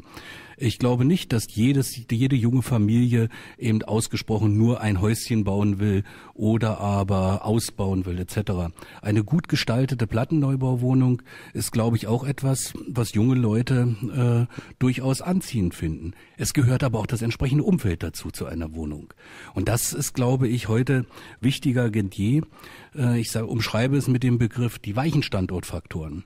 Und zu den weichen Standortfaktoren gehört es eben auch, dass in ländlichen Bereichen Schulen sind, dass es eine Grundschule gibt, möglichst in, äh, in, in äh, Wohnort nah, dass die Kinder nicht so weit zur Schule müssen. Dazu gehört es eben auch, dass die Frage der ärztlichen Versorgung da ist. Äh, wir haben als Linke in Thüringen dort gerade in letzter Zeit einen Vorschlag unterbreitet von Ärztezentren auf dem ländlichen, im ländlichen Bereich. Dazu gehört es auch, dass äh, Kultur erhalten wird. Hier nenne ich bloß für unseren Bereich das Theater in Rudolstadt ist für mich ein ganz, ganz wichtiger Standortfaktor in, in der Region, in der wir hier uns aufhalten. Äh, und es ist eben nicht gut, wenn jedes Jahr wieder äh, darum gekämpft werden muss oder es nicht sicher ist, ob es im nächsten Jahr dieses Theater in Rudolstadt überhaupt noch gibt. Und das Gleiche betrifft eben die Schulen. Es ist eben nicht gut, wenn kleine Grundschulen, auch einzügige Schulen, jedes Jahr darum kämpfen müssen, überhaupt noch zu bestehen. Und, da, und gute Schule eben leider, leider im Moment schwierig ist, weil die Thüringer Landesregierung die entsprechenden Lehrerstellen nicht zur Verfügung stellt. Ich glaube, hier muss auch etwas verändert werden. Und es wäre ja aber dann Landespolitik und keine Bundespolitik. Das ist, das sind natürlich, da greift Landespolitik in Bundespolitik ein. Also das sind, das sind immer zwei Teile, zwei Schuhe, die da unbedingt auch zusammengesehen werden müssen, weil Standortfaktoren sind natürlich sehr häufig auch landespolitisch. Natürlich auch bundespolitisch, wie wir vorhin schon gesagt haben, was die Infrastrukturmaßnahmen betrifft. Aber zur Infrastruktur gehört eben für mich auch der Tante Emma Laden äh, in, in der Gemeinde X. Da gehört für mich eben dazu die Schule, da gehört die Kultur dazu, da gehören auch die Sportvereine dazu. Sportvereine sind sozial, sind soziale Stellen der sozialen Zusammen, des sozialen Zusammenhalts. Und ich glaube, das ist ganz, ganz wichtig, dass das erhalten bleibt, weil dann werden sich auch junge Familien ansiedeln, wenn diese beiden Faktoren, die harten Facts und die weichen Facts, tatsächlich auch zusammenfallen, weil das gehört einfach zusammen, dann bleiben auch junge Familien hier. Wir danken Herrn Koschewski. Mensch, Herr Borchardt, die Freien Demokraten haben in der Bonner Republik, also vor der Wiedervereinigung, mal irgendwann den Slogan Die Partei der Besserverdienenden an die Backe geklebt bekommen. Wie sehen Sie das jetzt als Liberaler mit den Jungen, mit den Alten, mit dem demografischen Wandel, mit der Abkopplung der ländlichen Gebiete? Nett, dass Sie mir das Stichwort geben. Wir sind nicht die Partei der Besserverdienenden, wir sind die Partei derer, die es besser verdienen das Problem des demografischen Wandels. Äh, es hat äh, zwei Facetten. Zum einen, wir werden älter, Gott sei Dank, hoffentlich auch lange gesund. Zum anderen haben wir äh, seit vielen Jahren immer weniger Geburten. Wir, die wir hier sitzen, werden weder das eine noch das andere ändern wollen bzw. ändern können. Aber Die Kinder, die geboren werden, haben hier, denke ich, schon mal gute Aussichten. Sie haben nämlich gute Schulen, gute Kitas. Da sind wir ganz anders aufgestellt als Länder, die deutlich wohlhabender sind. Nehmen wir nur Bayern oder Baden-Württemberg, wo Kita-Plätze in Größenordnungen fehlen. Wir haben auch ausreichend Ausbildungsplätze. Mein Ausbildungsplatz, den ich zur Verfügung gestellt habe, ist dieses Jahr nicht besetzt worden. Woran liegt es? Es liegt zu einem nicht unerheblichen Teil daran, dass viele, die das Abitur heute machen, nicht mehr an eine Ausbildung denken, sondern gleich ins Studium gehen. Ob das unbedingt eine gute Idee ist, darüber kann man streiten, denn wenn man studiert, hat man auch immer die Gefahr, dass man sein Examen nicht besteht. Und wenn man es nicht besteht, dann hat man nach einigen Jahren nichts. Also von daher werbe ich überall und immer wieder dafür, Leute, macht nach dem Abitur erst eine Ausbildung, dann habt ihr was, worauf ihr zurückgreifen könnt. Das ist das eine, Bildung. Dann äh, die Fortbildung, die Ausbildung, die Weiterbildung auch von denen, die bereits berufstätig sind. Da könnte noch deutlich mehr passieren. Zuständigkeit auch der Bundesagentur für Arbeit. Dann war Kultur angesprochen worden. Kultur ist nicht nur das, was der Staat in irgendeiner Konstellation in die Hand nehmen muss. Kultur ist zu einem ganz großen Teil Ehrenamt. Und wer selbst ehrenamtlich tätig ist wie ich, der weiß, wie schwer es ist, Leute zu finden, die wirklich nur für das Ehrenamt sich hinstellen und arbeiten, sich Stunden und teilweise halbe Nächte um die Ohren schlagen, um eine Veranstaltung für viele auf die Beine zu stellen. Und ein letztes, das sei mir ja noch gestattet, äh, der Mindestlohn, der angesprochen worden war. Äh, Sie wissen, die FDP ist gegen einen flächendeckenden politisch festgesetzten Mindestlohn. Und wenn hier der Mindestlohn als Allheilmittel gepriesen wird, so darf man nicht vergessen, dass der Lohn auch Teil des Preises ist, den ich für die Leistung, für die Ware, für die Dienstleistung zahlen muss. Das heißt, wenn der Lohn nach oben geht, dann werden auch die Preise nach oben gehen. Und äh, das Einzige, was ich damit habe, ist eine kleine Inflation angekurbelt. Ich habe aber nichts wirklich erreicht.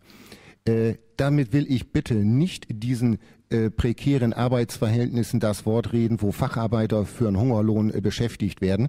Aber Mindestlohn so verstehe ich es jedenfalls, bedeutet, wenn er gesetzlich kommen sollte, gibt es ein Verbot, für uns FDP-Leute schon mal ganz schlimm, ein Verbot, jemanden unterhalb dieses Lohnes zu beschäftigen.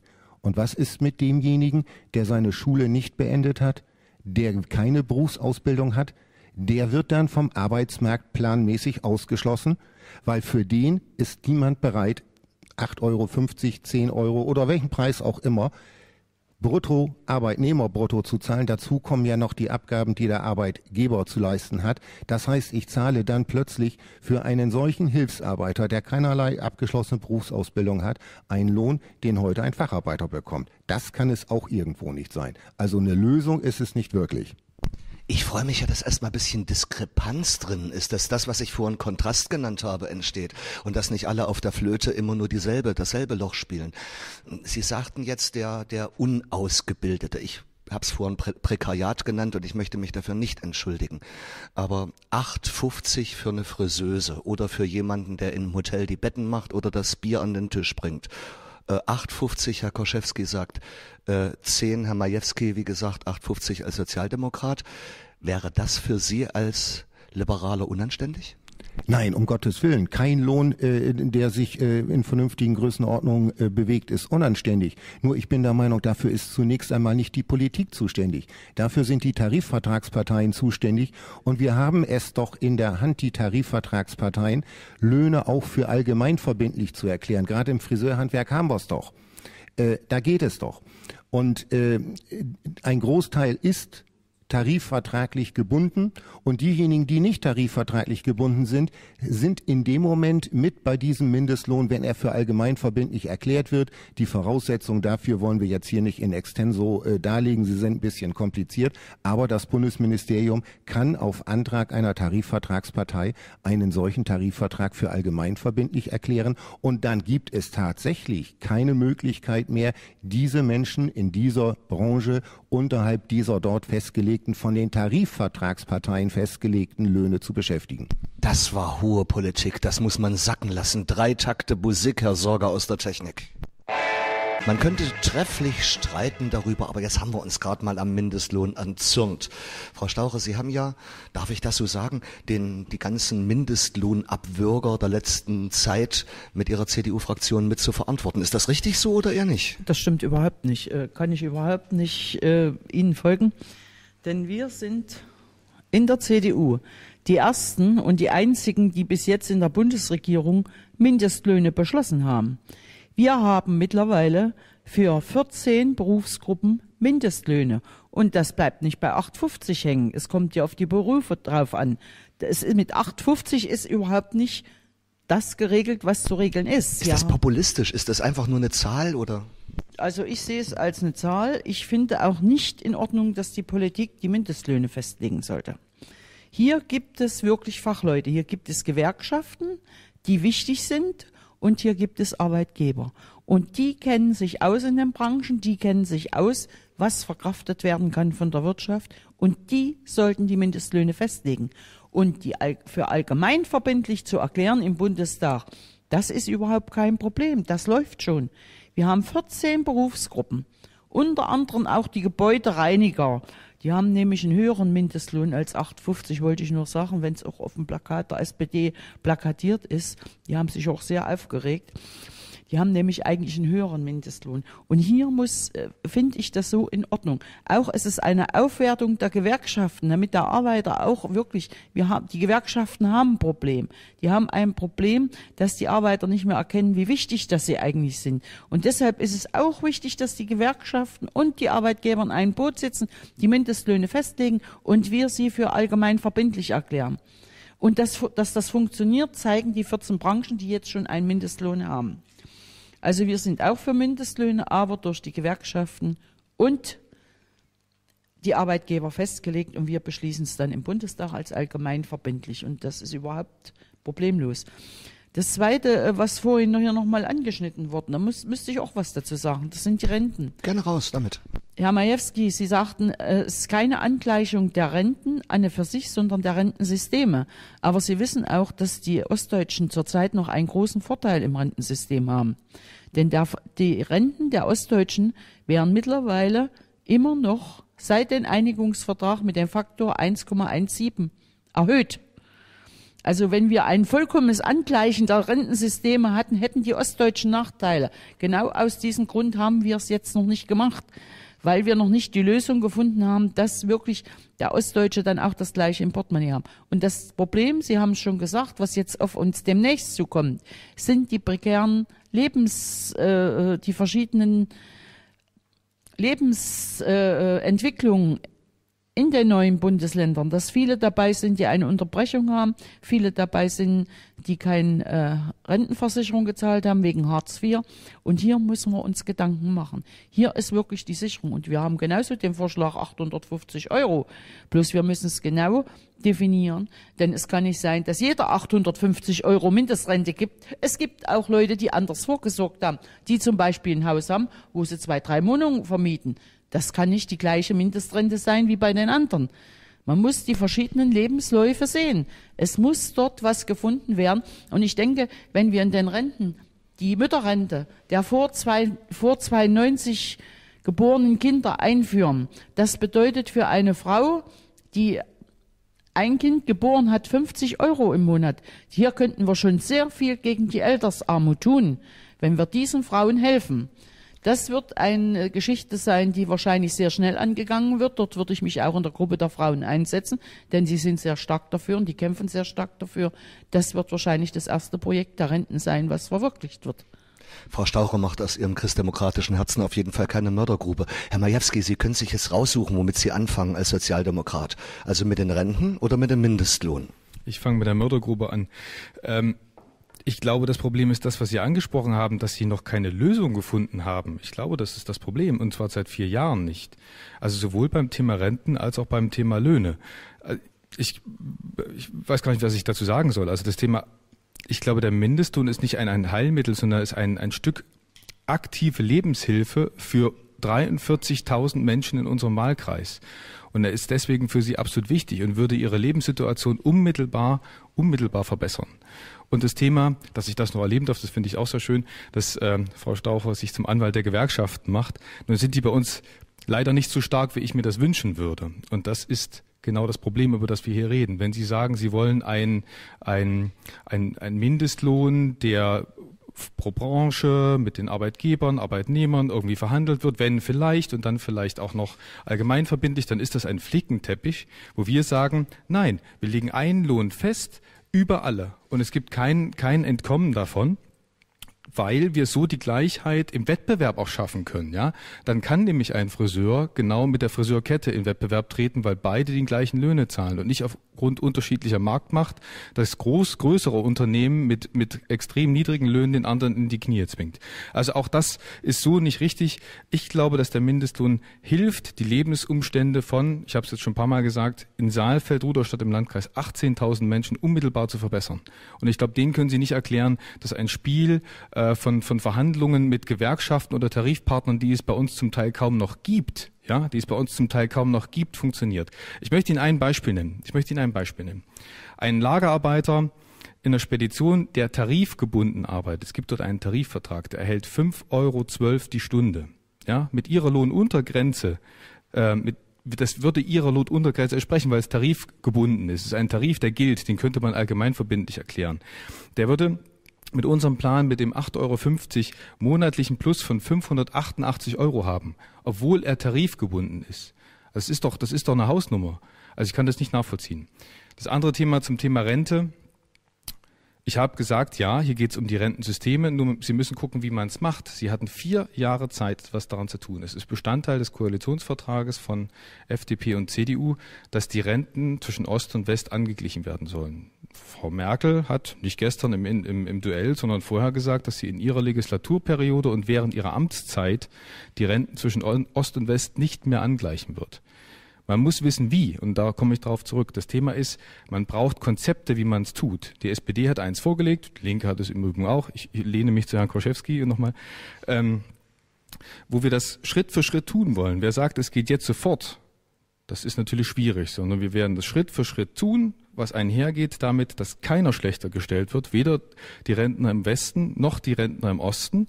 Und wir erhöhen Schritt für Schritt die Renten so bis 2020, dass dann der vollkommene Gleich, die vollkommene Gleichheit der Systeme und der, äh, der Berechnung stattgefunden hat.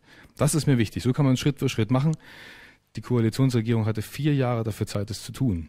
Und rausgekommen ist nichts. Herr Majewski, wir könnten uns trefflich streiten. Ich brauche acht Stunden Sendezeit. Ich sag's nochmal. Ich möchte bloß allen Kandidatinnen und Kandidaten die gleiche Redezeit so über den Daumen einräumen. Und Herr Koschewski, das sind ja auch für Sie ich sage ganz bewusst, ich habe das Gefühlte auch nicht vorhin anmaßend oder gar beleidigend gemeint, sondern ich merke nur, dass dieses Pferd ja mittlerweile von ihren Mitbewerbern auch geritten wird. Sie haben vorhin die, die Rentengerechtigkeit bewusst angesprochen.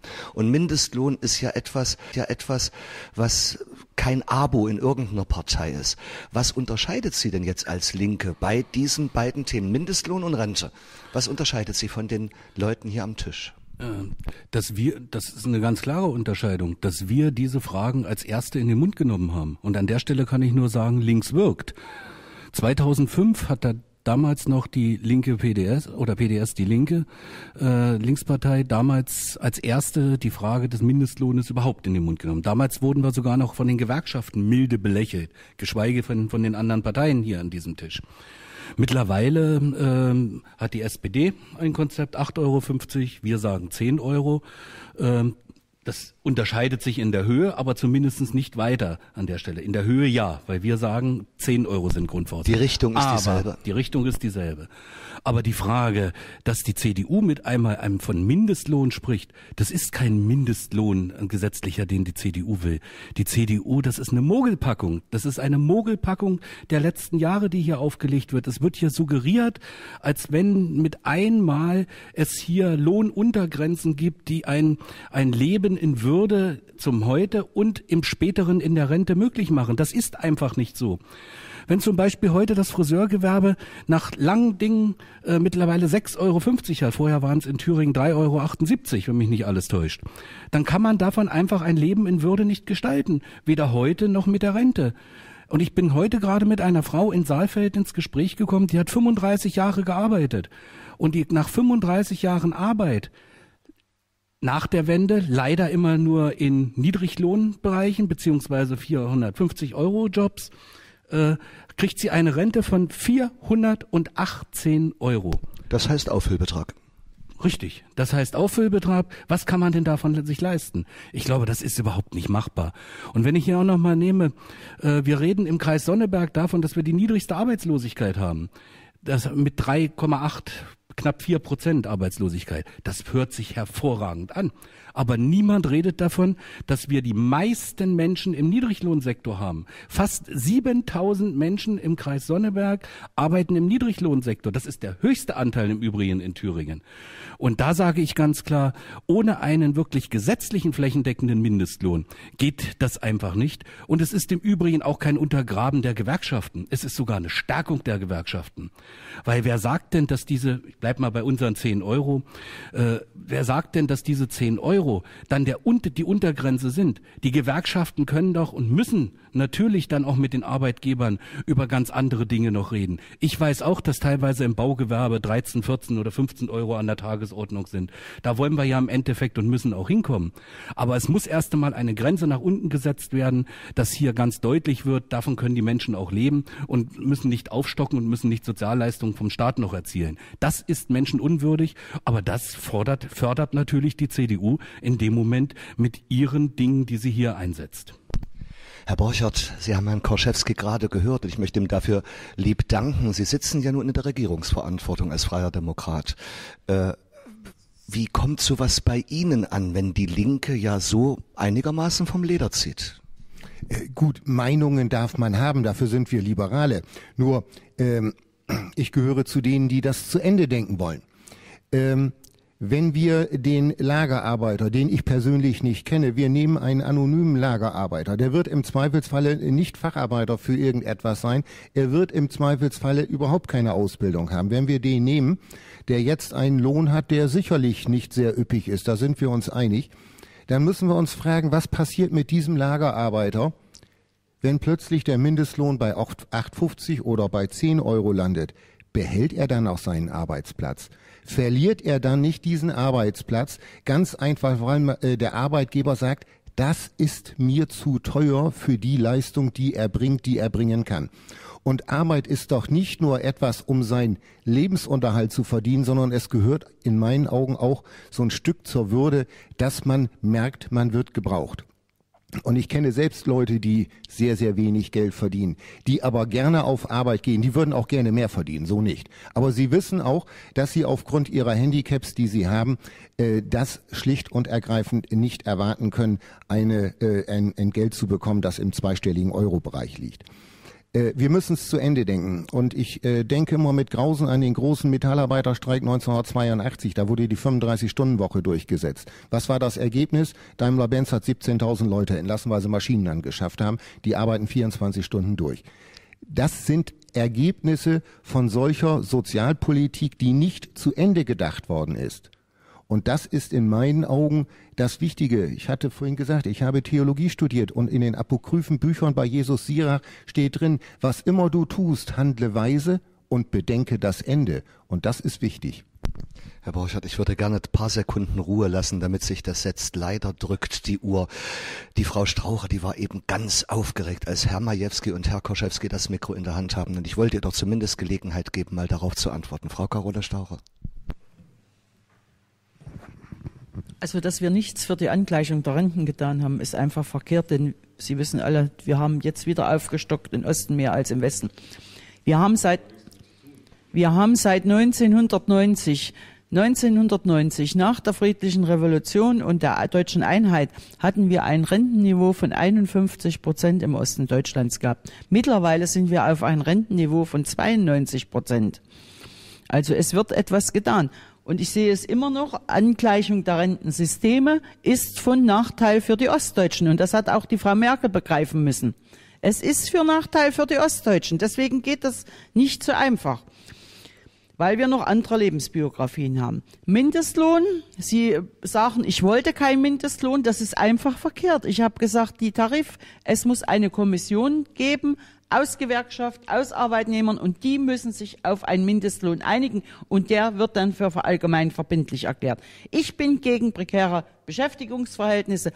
Es gibt wirklich hier riesengroße Schweinereien bei Lohnbezahlung, muss ich sagen. Wenn ich höre, dass in einem Betrieb hier 4, 50 Stunden Lohn für Frauen bezahlt wird, das geht nicht. Das ist für mich nicht. Und das ist auch Wettbewerbsgleichheit. Richtig, natürlich. Aber das ist ja gerade Sache. Sie sagen, es gibt keine äh, starke Gewerkschaft im Osten. Aber das Friseurhandwerk hat überhaupt keine Gewerkschaft mehr. Und wir haben es trotzdem geschafft, hier einen Mindestlohn einzuführen. Es geht. Aber natürlich, er, er, wird, er wird nächstes Jahr 8,50. Das, ich weiß nicht, ob Sie das schon. Ich denke, ich denke, meine Herren, wenn wir dann ein Mikro Also ich glaube, haben, wir werden uns, uns da nicht einig, aber wir wollen nicht, dass jedes, zu jeder Bundestagwahl jede Partei Werbung macht mit dem meisten Mindestlohn, den er bezahlt und überhaupt keine betriebswirtschaftlichen Sachen damit bei bedacht werden. Das kann nicht gehen. Man muss auch betriebswirtschaftlich denken. Man muss auch an den Erhalt der Arbeitsplätze denken. Und ich kann Ihnen nur sagen, sollte das alles eingeführt werden von Erbschaftssteuern und Steuererhöhungen. Ich habe Betriebe, die haben gesagt, mit einem Bescheid vom Finanzamt zur Erbschaftssteuer kann ich gleich in die Insolvenz gehen, meine Söhne mit, dann brauchen wir gar nicht mehr weiterzumachen. Das sind alles so eine Sachen, die man bedenken muss. Bedenke das Ende. Herr Borschert hat es gesagt. Frau Staucher, wir sind bereits fast in der Zugabe. Ich mache jetzt einfach mal was, wofür mich die Sendeleitung auf den Kopf hauen wird. Ich lege fest, dass wir überziehen und unsere 90 Minuten einfach noch ein bisschen ausdehnen mit der Bitte, dass immer nur einer spricht und mit dem Mund ins Mikro, damit die Damen und Herren da draußen im Internet und im UKW das auch alles mitbekommen. Und Herr Majewski hat eben ganz aufgeregt hier auf dem Stuhl herum und hat was gegluckert und ich möchte ihm schon die Gelegenheit geben. Kriegen wir es in 60 Sekunden hin, ganz schnell.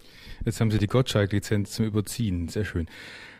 Rente ist mir ein wichtiger Punkt weil hier einiges durcheinander geht. Was Sie behauptet haben, ist schlicht und ergreifend falsch. Und es ist auch unlauter, weil Sie es in Verbindung bringen, als sei die CDU und die Bundesregierung dafür verantwortlich, dass die Renten im Osten nachhaltig gestiegen sind. Es ist nicht so. Es ist nicht so. Natürlich haben die Renten sind permanent gestiegen im, im Zuge der Wiedervereinigung und der wirtschaftlichen Entwicklung, weil sie an die Löhne gekoppelt sind, an die Löhne. Und damit hat weiß Gott die CDU nichts zu tun, dass die Löhne in der Vergangenheit gestiegen sind. Ein anderer wichtiger Punkt, die von Ihnen vorhin erwähnte Steigerung, die vor kurzem äh, zum 1.7. stattgefunden hat, ist eine jährliche Anpassung der Renten basierend auf einer Rentenformel. Im Übrigen leicht gepuffert und verhindert, dass die Renten sinken können von einem sozialdemokratischen Arbeitsminister. Durch diesen Umstand ist die Rente für Ost um 3,29 Prozent in diesem Jahr gestiegen und im Westen nur um 0, ich glaube 2,5 Prozent gestiegen. Und das ist ein Sachverhalt, der mit einem Ost-West-Rentenangleich nicht das geringste zu tun hat und ein Umstand, mit dem vor allem die CDU-Regierung in der Vergangenheit überhaupt nichts zu tun haben. Herr Korschewski hat vorhin auch auf dem Stuhl rumgerutscht. Und ich weiß, das hat mit Gottschalk nichts zu tun, lieber Herr Majewski, weil das ist ein Bürgermedium. Und wir machen das eigentlich nicht, weil bei uns zu Hause die Heizung ausgefallen ist, sondern weil wir allen Leuten die Möglichkeit geben wollen, sich zu informieren, hier auch im Wahlkreis. Und Herr Korschewski, dann sollen Sie auch mal richtig auf dem Stuhl rumrutschen und jetzt sprechen dürfen. Ja, das mache ich gerne, weil ich will da einfach nochmal darauf zurückkommen.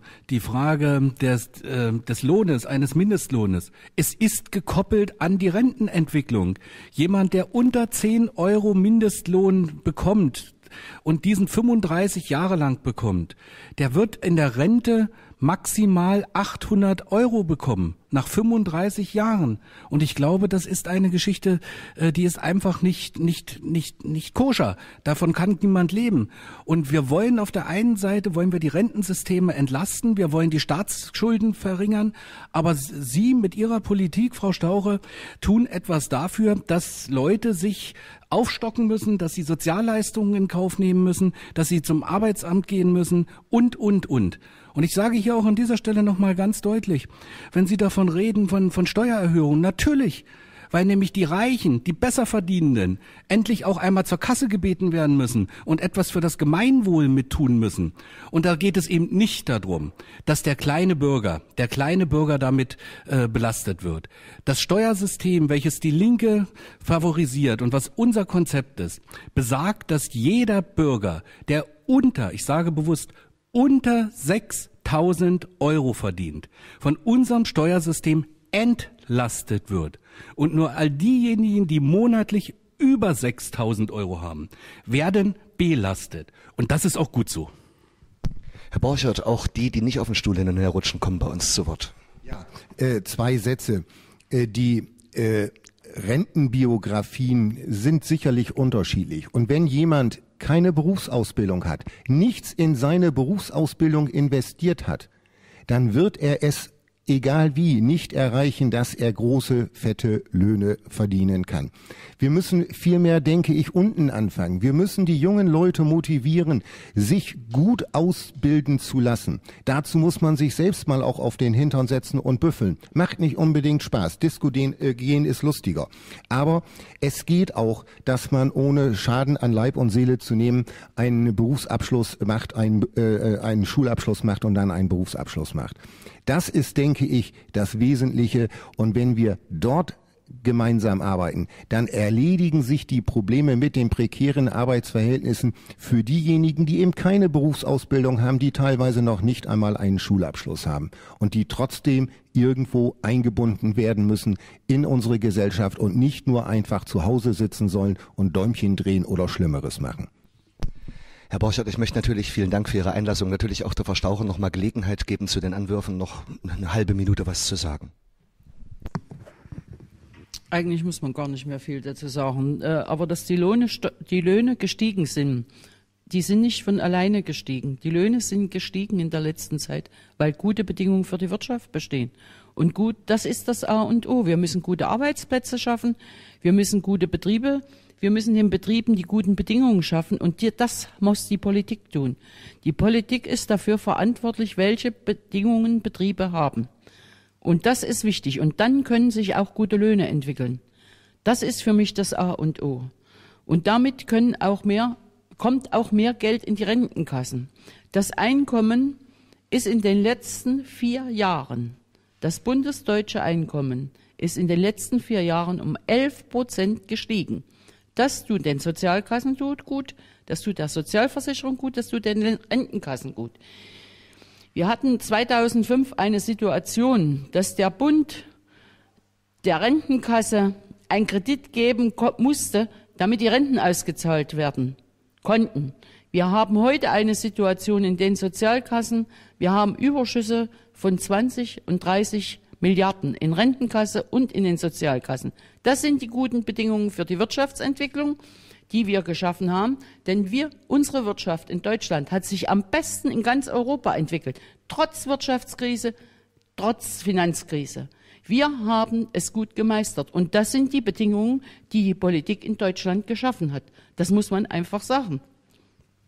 Herr Majewski, wenn ich jetzt Frau Staucher von den elf Jahren reden höre, da könnten Sie jetzt ganz locker wieder kontern, ja, das ist ja die Saat von Schröder, das ist ja rot-grün, was die angeschoben haben oder so. Kann man das denn aufeinander festlegen, was denn wirklich christlich-demokratische oder liberale Koalition oder auch immer? Oder kann man das nun wirklich auf eine bestimmte Partei, in diesem Falle eben ihre sozialdemokratische, festmachen? Ich merke bei vielen Diskrepanzen, ich sage es nochmal, eine recht hohe Schnittmenge, die alle vier Parteien hier am Tisch gemeinsam haben. Es ist sicherlich richtig, dass die, dass die vor allem die rot-grüne Bundesregierung seinerzeit den Mut gehabt hat, ein paar ganz grundlegende Reformen einzuführen, die für die die SPD, aber auch die Grünen natürlich äh, viel gescholten wurden, äh, wo wir auch heute sehen, dass es hier und da Fehlentwicklungen gab, wo wir unbedingt gegensteuern müssen. Auch darüber reden wir ja heute. Ne? Und viele Themen, die wir heute besprochen haben, gingen genau darum. Und ich bin dankbar, dass Sie es sagen. Da musste ich nicht sagen. Ich glaube, dass Deutschland heute so gut dasteht, verdanken wir auch zu einem ganz wesentlichen Punkt diesen Reformen der rot-grünen Regierung in dieser Zeit. Äh, vielleicht auch Gott sei Dank. Denn wenn die nicht da gewesen wären und die Politik der jetzigen Koalition damals schon gegriffen hätte, sähe es höchstwahrscheinlich schlimmer aus. Ich möchte aber noch einen Punkt sagen zu dem Thema Einkommen, was hier äh, gesagt wurde. Natürlich ist das Einkommen der, das Einkommen der Bevölkerung in der Bundesrepublik gestiegen. Es wäre übrigens schlimm, wenn das nicht so wäre, aus volkswirtschaftlichen Zusammenhängen. Aber wir müssen uns doch eins im Klaren sein, bei wem kommt dieses Einkommen an? Wir haben seit Jahren eine Entwicklung, wo diese Zuwächse vollkommen überproportional zu den Leuten gehen, die besonders viel verdienen. Wir haben eine Einkommensverteilung, dass über die Hälfte des Einkommens den zehn Prozent Reichsten inzwischen gehören. Beim Vermögen ist das Ganze noch schlimmer, da liegt die bei ungefähr 60 Prozent diese Hürde. Wir kommen in eine Entwicklung hinein, wo die Reichen immer reicher werden und die, die Armen zumindest das nicht kompensieren können. Die Schere geht hier auseinander und dafür brauchen wir eine vernünftige Sozialpolitik und dafür treten wir an. Und da brauchen wir keine Experimente oder unausgegorenen Konzepte wie ein, ein, eine, eine Mütterrente oder wie hieß die Rente von Frau von der Leyen, die letzten Endes irgendwo bei fünf Euro über, über, über Hartz-IV-Niveau rauskommt, sondern ganz klar, wir glauben, dass 850 Euro als, als Rente, als Solidarrente und dass ein Mindestlohn von mindestens ich gucke nochmal zu Herrn Koschewski, von mindestens 8,50 Euro. Denn wir schlagen vor, dass diese, dass diese Löhne von einer Expertenkommission, nicht Bundestagswahlen, sondern Expertenkommission im Wirtschaftsministerium äh, festgelegt werden soll, unter Beteiligung da. Der, der, der Gewerkschaften und der Arbeitgeber. Das brauchen wir, um vernünftig in, in diesem Land zu leben, sonst geht die Schere immer weiter auseinander und wir haben eine, eine sehr schwierige Situation, wie wir miteinander weiterleben wollen. Da würde äh, kräftig genickt von der linken Seite. Aus meiner Sicht wie auf der, der politischen. Herr Kaschewski, ein gemeinschaftliches Thema oder grenzt man sich dann trotzdem ein bisschen von den Sozialdemokraten ab? Insbesondere wenn die Frage dann aufkommt, wie ist das finanzierbar? Also erstmal muss ich sagen, Sie haben vorhin davon gesprochen, dass die Schnittmengen zwischen allen vier Parteien äh, sehr groß sind. Das sehe ich anders, logischerweise. Äh, ich glaube schon, dass die Schnittmengen der Linken zu CDU und FDP äh, sehr, sehr klein sind, aber es durchaus die ein oder andere Schnittmenge äh, zur SPD gibt. Das haben wir auch nie abgestritten. Wir haben es gesagt, die Richtung ist die gleiche. Ähm, allerdings muss ich natürlich dazu sagen, die SPD ist natürlich mit ihrer Harzgesetzgebung insgesamt daran schuld, dass es ja auch eine bestimmte Richtung eingeschlagen hat und dass Menschen überhaupt in solche Situationen gekommen sind. Ähm, und deshalb muss ich sagen, diese Harzgesetzgebung gehört zurückgedreht. Hier gehört, gibt es andere Dinge. Und äh, es gibt natürlich auch völlig auch Unterschiede zur SPD und zur Linken. Und da sage ich hier ganz klar, ich bleibe weiter dabei, äh, ob die 8,50 Euro, die die SPD fordert, die hat die hat die Linke vor zwei, drei Jahren gehabt. Äh, seitdem hat es eine Inflationsentwicklung gegeben, es hat eine gesellschaftliche Entwicklung gegeben. Es ist nicht mehr zeitgemäß, diese 8,50 Euro, sondern 10 Euro ist das zeitgemäße. Und da geht es eben nicht darum, hier höher, schneller, weiter sondern es geht darum, dass Menschen auch von ihrer Hände Arbeit leben können müssen und dass sie damit auch äh, für die Gesellschaft etwas tun. Und wer mehr in der Tasche hat, wird auch mehr ausgeben. Und wer mehr ausgibt, tut auch etwas für die einheimische Wirtschaft und für die einheimische Entwicklung auch von Unternehmen, von kleinen Läden, von größeren Läden insgesamt. Der wird das Geld in den wenigsten Teilen, wird er es auf die Straße, äh, wird er es anlegen. Und ich sage ganz klar, und da stimme ich Herrn Majewski ausdrücklich zu, es kann nicht sein, dass die Reichen immer reicher werden und nicht dazu beitragen oder nur sehr wenig dazu beitragen, dass das Gemeinwohl gefördert wird und die, auf die kleinen Leute immer mehr abgedrückt wird. Ich sage hier nur Spitzensteuersatz. Ähm, 51 Prozent Spitzensteuersatz das ist im Übrigen der, der mal von Kohl eingeführt wurde.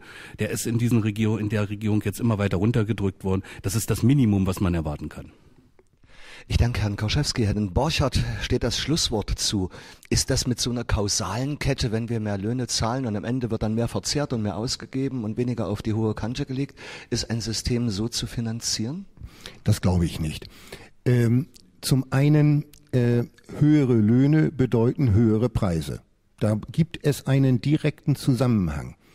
Äh, wenn ich aber für das Glas Bier im Wirtshaus für die Bratwurst äh, am Bratwurststand einfach 20, 30, 40, 50 Cent mehr zahlen muss, ja, dann ist meine schöne Lohnerhöhung, die ich über den Mindestlohn bekommen habe, aber ratzfatz weg. Das bringt es nicht wirklich.